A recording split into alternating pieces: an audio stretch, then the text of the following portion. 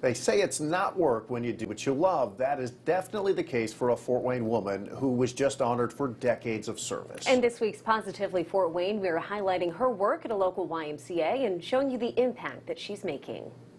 To the TinCaps?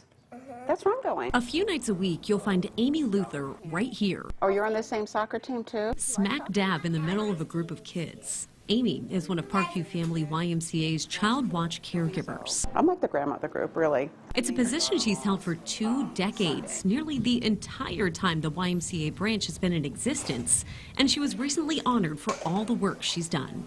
Well, we celebrated the building turning 20 years in January, and we are like, wow, this is really cool. But then you think of somebody spending 20 years and giving to that building or to that program or to that idea, like it's just unreal. Amanda Munger is the Youth and Family Director. She says Amy is kind, helpful, and always walks through the door with a smile on her face. It's not like it's, oh, I'm here at work. Like she's here and she's excited to be here and she just does a great job. Coming to work, it's like my second home. It's family. Uh, make sure the children are taken care of, and we clean a lot of toys, and just spend time with them and give them a good day. You can see it superficially when she's interacting with kids. You know, she knows their names, she knows what's going on. She's like, hey, how was your dance recital over the weekend? Amy is no stranger to an environment like this. She retired from Fort Wayne Community Schools after 20 years, and it was her husband who encouraged her to apply to Child Watch. I have a Samantha, my granddaughter. Whether it's a few minutes playing a game or a few hours just chatting with the kids, Amy leads by example and hopes to leave a lasting impact. If I see somebody by themselves, I maybe play a game with them.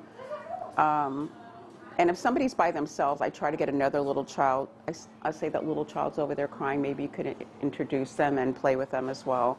Because I don't want anybody to play by themselves. As Amy nurtures those positive relationships, it's parents and kids from the past who are also proving how special and memorable she really is. If you looked at the Facebook page, like people were commenting that had their kids here 10 years ago, and that was an impact that, you know, they remembered that and that the great care she gave to their kids, um, that was really cool to see. I enjoy coming here, so I hope they do too. Well, Amy's no doubt leaving her mark on that program. She told me she plans to stay with Child Watch as long as they'll keep her. And Amanda Munger with Child Watch says Amy can stay as long as she wants. You can learn more about the Child Watch program and watch the story again on WANE.com. Just hit the news tab and look for Positively Fort Wayne. And if you have a Positively Fort Wayne idea, feel free to send it to us. Just email positive at WANE.com.